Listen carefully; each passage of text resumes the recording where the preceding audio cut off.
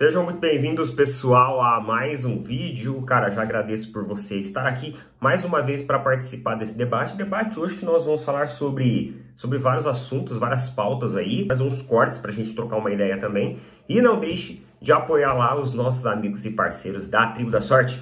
Tribo da Sorte não é casa de aposta esportiva, Tribo da Sorte é uma plataforma dos jogos eletrônicos da Caixa Econômica Federal. Então, tudo regulamentado, tudo certinho. Tem suporte técnico também via WhatsApp para você tirar lá suas eventuais dúvidas. Já estão ali há alguns meses com essa parceria com o nosso canal, são incentivadores do nosso trabalho. Então, agradeço muito a todo mundo que já conheceu o nosso cupom, que já conheceu a plataforma, que já utilizou o nosso cupom, que é o cupom Opina Tribo. E com esse cupom, mano, você vai receber um bônus a partir ali da primeira vez que utilizar a plataforma. Eu tenho certeza que você vai se divertir bastante e o melhor de tudo, vai aumentar as suas chances de ganhar nos sorteios das boas e velhas lotéricas que todo mundo já conhece. Então, pessoal, é isso daí, ó. Tribo da Sorte tá fixado nos comentários aí. Tamo junto. Valeu, obrigado.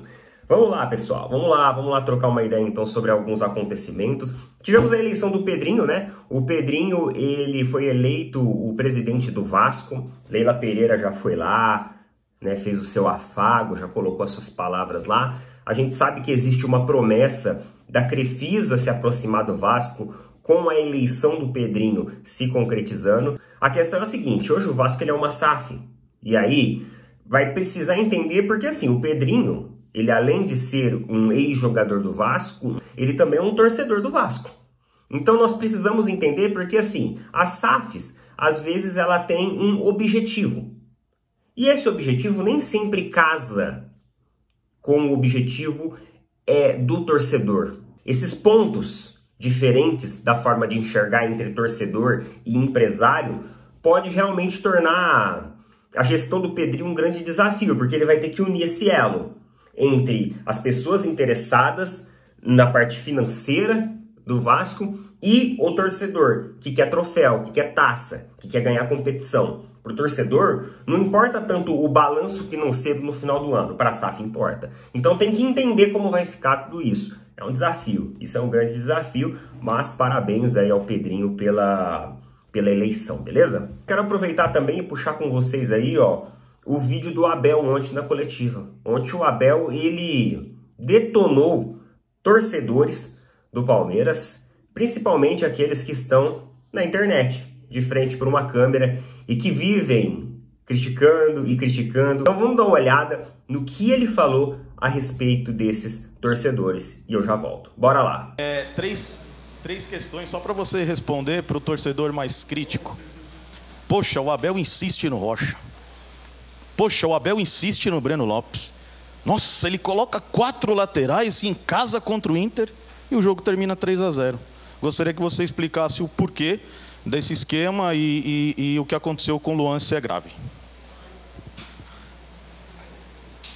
Que torcedores é que você está a falar? Daqui destes que nos vêm apoiar ou daqueles que ficam em casa num computador, fazem um blog e criticam para influenciar os outros? Isso é que eu digo aos meus jogadores. Não se deixem influenciar por torcedores que se calhar nem sócios são, nem avante são, e ficam em casa e o que fazem é criticar. Eu digo aos meus jogadores isto: se é para se criticar uns aos outros, estejam calados. Quando quiserem falar, falem para incentivar. É isto que eu digo aos meus jogadores. E esses torcedores, mas isso estamos a falar, são 3% dos torcedores. São aqueles que se sentam em casa, à frente de um blog, criam blogs, alguns, e só fazem isso. O treinador sou eu. O treinador aqui do Palmeiras sou eu que acerto e erro como toda a gente, mas a sensação que eu fico é quem está à frente dos computadores sabe tudo.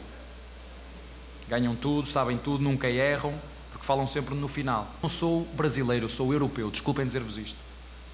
Eu não sou brasileiro, eu não fui criado na escola de futebol do Brasil. Eu sou europeu.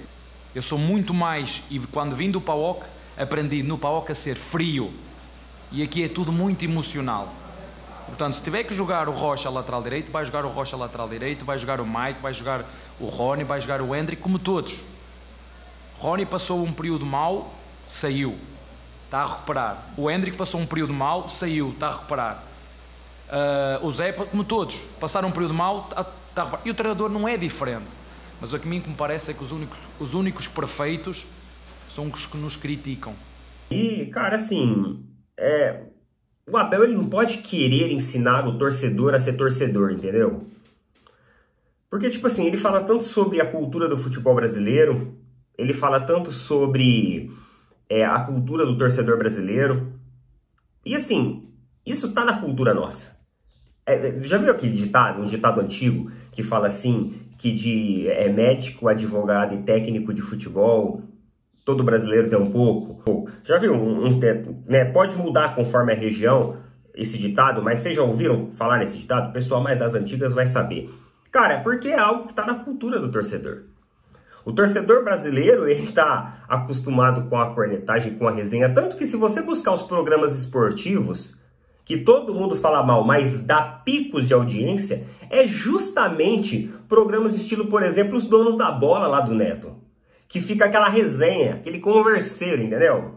Não são aquelas análises, bem, se nós observarmos pelos aspectos de um 352, de um 443 tal. Não, é aquela resenhona mesmo que parece mesa de bar. Querendo ou não, o público, o torcedor, a cultura brasileira, ela é assim. Não tem como o Abel chegar e querer que a gente muda o nosso jeito. Corneta vai existir, as críticas vão acontecer. Faz parte do futebol brasileiro. É que hoje em dia nós temos o advento da internet. Então isso acaba se tornando público. Mas antes de haver internet, Todo mundo, numa roda de churrasco, numa mesa de amigos, já metia o pau nos jogadores, em arbitragem, em técnico. Isso sempre aconteceu. Então não tem como você querer, é, Abel, mudar o torcedor no seu jeito de torcer. E também não tem como você querer dizer que pessoas da internet com uma câmera ligada influenciam multidões. Porque não influencia, cara. Quantas e quantas vezes eu venho aqui, faço vídeo e de baixo várias e várias pessoas discordam daquilo que eu falo? Não influencia, cara. A diferença é que a gente só expõe a nossa opinião na frente de uma câmera. É isso. E aí, quem quiser concordar, beleza, mas quem quiser discordar, o espaço também tá livre para discordar. É, o Abel, ele anda sem paciência. Sem paciência, falando que tá de saco cheio. Ele falou na entrevista ontem que já tá de saco cheio. Aí perguntaram para ele: "Ah, você pode ir embora antes do término de contrato?" Ele falou que não sabe dessa informação. Então, assim, pô, Abel, se você tá tão cansado do Palmeiras assim, cara, a gente agradece todo o seu trabalho, toda a sua dedicação. Mas você tem que entender que toda essa correria do, do mundo de técnico de futebol que você vive, cara, tu ganha 2 milhões por mês para viver tudo isso. E um médico, um enfermeiro, um técnico de enfermagem, uma pessoa que lida com a saúde do próximo, que às vezes ganha infinitamente menos. Nós vivemos numa sociedade hoje onde jogadores de futebol, técnicos de futebol, são privilegiados andando de avião, uma estrutura à sua disposição, um nutricionista, médico, a hora que precisar. Ah, precisa de avião para visitar a família? Tá aqui, ó, avião para visitar a família. Precisa que as suas filhas e sua esposa venham para o Brasil? Tá aqui o avião para ir buscar suas filhas e a sua esposa. Olha isso, irmão. Olha os privilégios dessa classe. E agora não quer ser cobrado? E agora a culpa é dos torcedores que gravam na internet. Eu gostaria de ir no Allianz toda semana assistir jogo, mas eu não tenho condições financeiras para isso, porque eu não tenho um salário de um jogador, de um técnico de futebol. Então, acho que o Abel ele tem que começar a ponderar um pouco as coisas que ele fala, se ele realmente quiser se comunicar com todos os torcedores. Não é dando esse esporro em coletiva que vai mudar a perspectiva do torcedor, muito pelo contrário. Tem muito torcedor criticando as falas dele de ontem, sem necessidade nenhuma. Uma vitória importante, assumimos provisoriamente uma liderança e ele quis ali dar um show. Sem necessidade. Sem necessidade. É, agora outro trecho que eu vou colocar para vocês, pessoal, é lá do Mauro César. O Mauro César falou a respeito também é, do empate ontem para o Flamengo. Ele fez uma análise interessante a respeito da postura do time, principalmente. É, postura essa que antes do jogo do Palmeiras, ela vinha sendo bastante criticada né, é, é, pelos torcedores em relação a um corpo mole. Pô, é, é, um time que acaba se acovardando no segundo tempo. E ontem algumas críticas como essa também surgiu. Só que o Mauro César, ele fez uma análise importante a respeito desse aspecto. Eu vou colocar aí para vocês. Beleza? A gente já volta. Vamos lá. Bola levantada. Olha o Felipe Luiz. Ele nem pula para disputar a bola com o Arias. Ele nem disputa a bola, gente. E depois erra o Mateuzinho e o Fabrício Bruno e Rossi. Os três erram para mim no gol do Fluminense.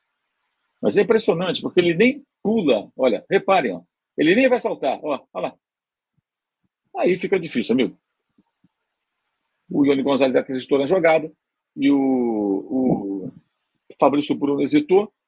O Mateuzinho largou o jogador do Fluminense, né? abandonou o, o jogador do Fluminense, esqueceu da existência do, do, do, Ione Gonzalez ali ao seu lado.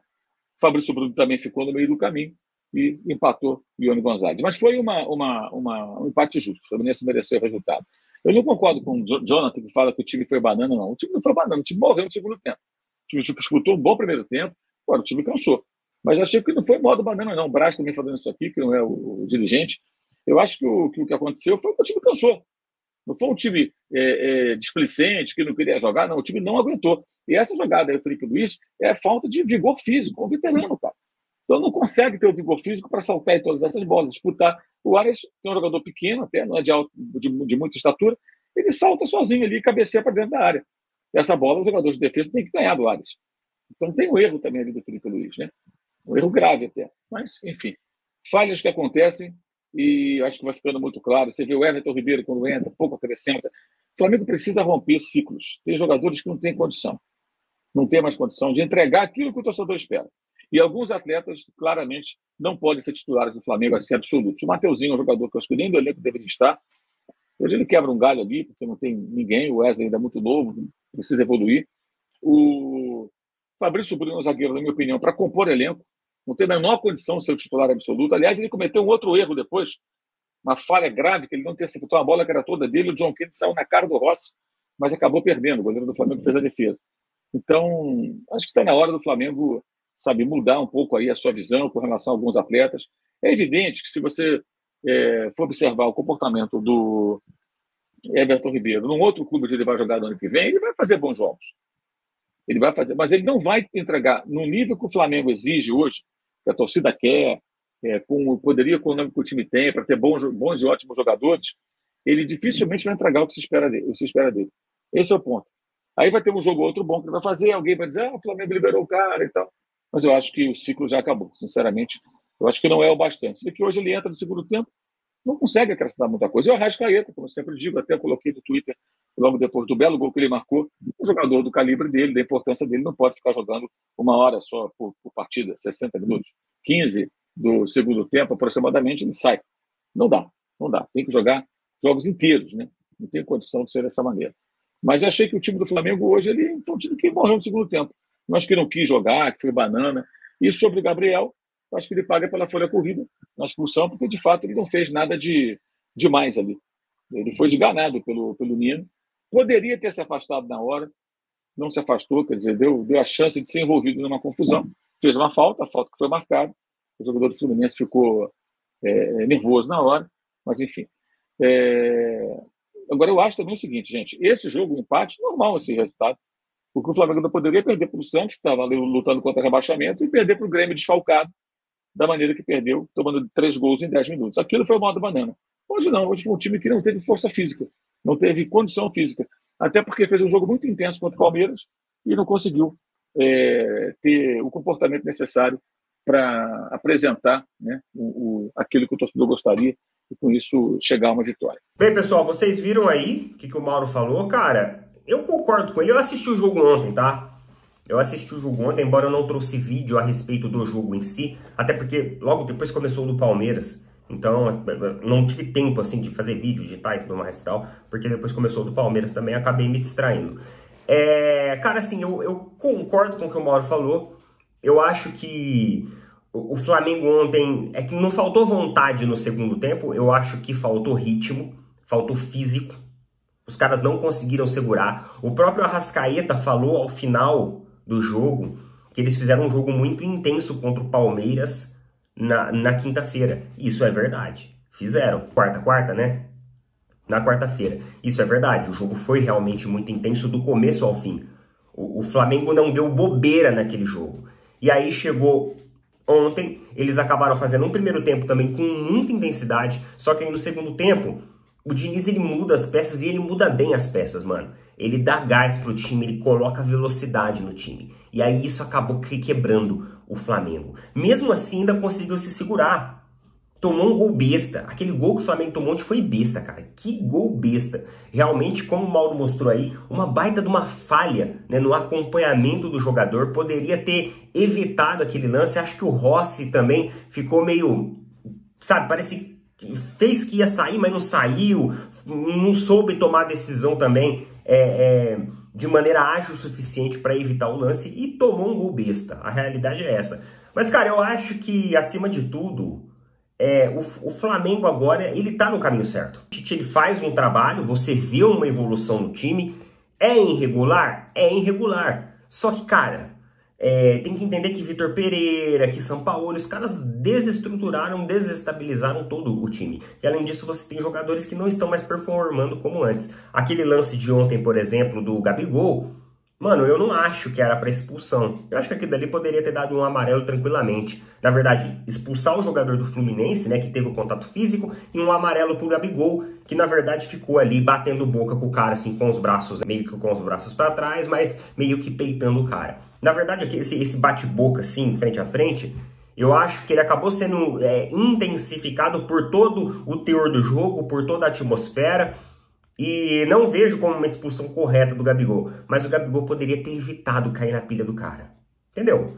O cara veio querer bater boca, mano, afasta, vai pro outro lado do campo. Faltando dois minutos. Porque assim, os caras queriam, naquele momento, parar o jogo. Pro Fluminense, aquilo foi ótimo porque é, eles já estavam cansados também. Eu tava ganhando espaço para de repente, né, fazer mais um gol. E aí, cara, o Fluminense ele começa a utilizar de todos os artifícios para segurar, porque sair com empate ontem para eles é muito representativo dentro de um jogo que para eles não valia nada. E para o time do Flamengo valia tudo. Então eu acho que o Gabigol ele poderia ter evitado esse estresse, entendeu? Deixava o cara brigar sozinho e aí provavelmente até a expulsão viria pro cara sozinho. Não que a responsabilidade da derrota seja do Gabigol, não acho isso. Não acho isso. Mas ele poderia ter, né? Ele acabou caindo na pilha. Ele caiu na pilha. Expulsão incorreta. Na meu ponto de vista, não sou árbitro nem nada, mas incorreta. Só que ele caiu na pilha e eu acho que isso acabou é, elevando os ânimos. Coloca nas opiniões aí, mano. Tamo junto. Valeu, falou. Até mais.